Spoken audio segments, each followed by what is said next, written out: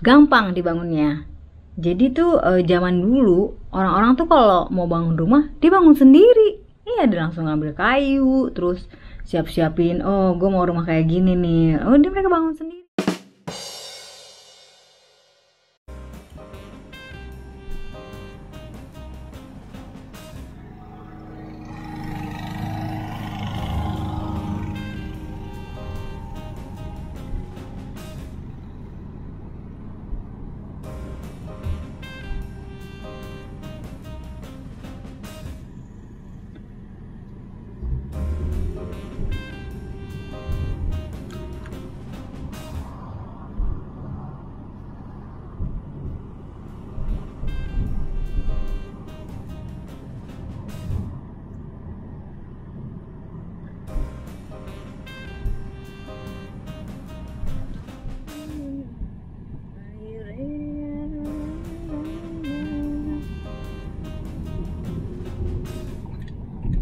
Nah, teman-teman kalau tadi teman-teman lihat kan rumah-rumah yang ada di Amerika yang tadi saya tunjukin tadi itu itu kebanyakan terbuat dari kayu.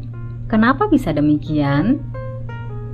Yang pertama karena memang secara asal usul dulu pada abad ke-16 jadi awal abad ke-17 itu orang-orang Amerika bukan maksudnya orang-orang Eropa itu datang seperti British itu datang ke Amerika Utara gitu ya. Mereka tuh mulai bangun-bangun rumah gitu lah.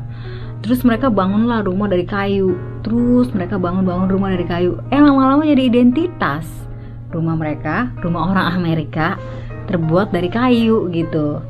Nah yang kedua adalah dari segi materi. Material materialnya itu tuh gampang. Kenapa? Karena di Amerika itu banyak hutan jadi gampang banget dapet kayu. Tinggal tebang langsung bangun rumah kan?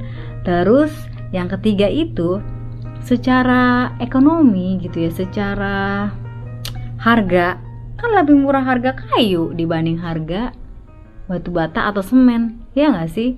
Jadi gampang gitu udah murah gampang jadi ya udah langsung bangun gitu. Terus yang keempat adalah jadi kalau rumah itu terbuat dari kayu, pajaknya itu lebih murah dibanding rumah yang terbuat dari semen atau batu bata. Bisa gitu ya. Nah, selanjutnya adalah gampang dibangunnya.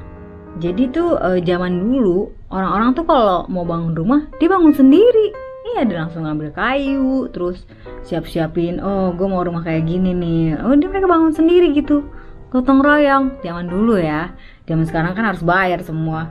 Mana ada makan siang yang gratis ya enggak nah selanjutnya adalah kenapa rumah orang Amerika terbuat dari kayu? Karena lebih aman. Jadi di Amerika tuh banyak banget loh bencana alam. Misalnya kayak tornado lah badai apalah badai inilah badai Matthew lah gitu.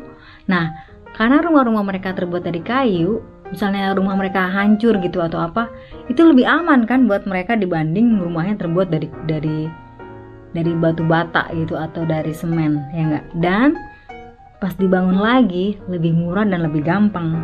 Ya nggak sih? Nah itulah teman-teman alasan kenapa orang Amerika rumahnya terbuat dari kayu. Gitu deh teman-teman. Semoga informasi ini bermanfaat ya. Dah